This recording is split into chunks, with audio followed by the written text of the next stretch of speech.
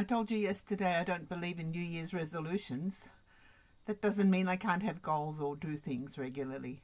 So it's the 3rd of January and I have a few goals each day. I want to meditate and I want to do my exercises and I usually have a shower every day and I take my vitamin pills. Right now I'm also taking lots of painkillers.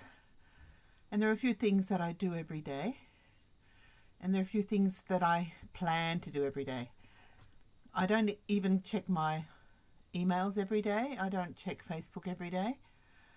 Yet I have been fairly bombarded lately with a lot of emails because I've signed up for a few newsletters for some co free coachings. It started off with a few webinars that I joined in, which were very interesting and helpful for me. And as I'm preparing to set up some sort of a business, once I'm over my my current health situation, I'm still figuring out what I'm going to do. So I find especially these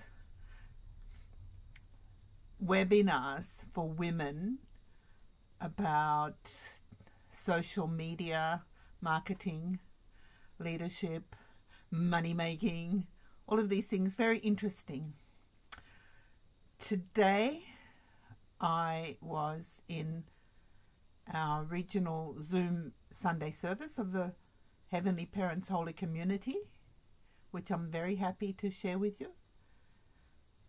And then in the afternoon, I joined in a kickstart for 2021 from another community, which inspires me almost even more than my religious community.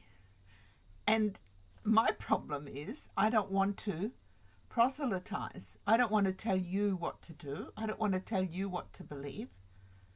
So I'm working on sharing what I think and what I believe. And if it helps you to make a decision, then great. That's it. Time's up. See you tomorrow.